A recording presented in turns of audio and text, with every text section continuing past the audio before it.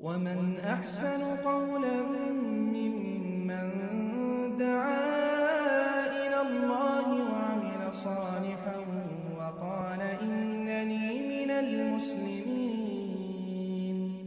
আসসালাম রহমতুল্লাহ বরকাত জি happy new year বলা যাবে না এটা হলো বিধর্মীদের অন্ধানুসরণ বিধর্মীদের অন্ধানুসরণ বিশেষ করে এই যে ই- ইংলিশ মাস্ক বা বাংলা মাস্ক উপলক্ষ করে যেটা বলে, সব বিধর্মীদের অনুষ্ঠান অন্ধানুসরণ আর এই দিনকে সামনে রেখে দেখলে আপনারা দেখছেন কত আল্লাহ নাফরমানি হচ্ছে।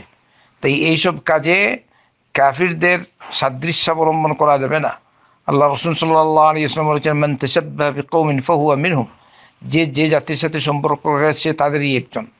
আল্লাহ আমাদের যে জাতির, যে যে জাতির সাদৃশ্য অবলম্বন করে, সে তাদেরই একজন। অতএব এইসব আচার অনুষ্ঠানে আমরা শরিক হব না। শুধু হ্যাপি নিউ ইয়ার কেন?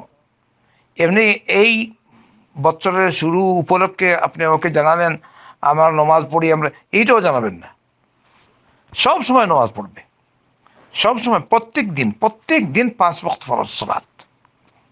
প্রত্যেক দিন মানুষের উপর ওয়াজিব, সে আল্লাহর হুকুম মেনে চলবে। হারাম কাজ থেকে বাঁচবে, ওয়াজিব, ফরজ যেগুলো, ওগুলো আদায় করবে। এটা সব সময়। এটা শুনে এক বছরের জন্য না। নেক্সট ইয়ার বলল এই দোয়া হচ্ছে নেক্সট ইয়ারের জন্য।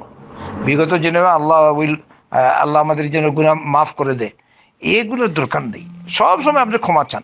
মোহাম্মদ রসুল্লাহ সাল্লাহ ইসলাম প্রতিদিন একশতবার ইস্তেকফার করতেন।